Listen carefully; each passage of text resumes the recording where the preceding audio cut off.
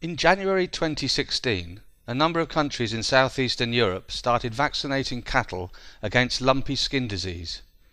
In this graph, the different shades of blue represent the percentage of animals vaccinated, and each red dot represents an outbreak.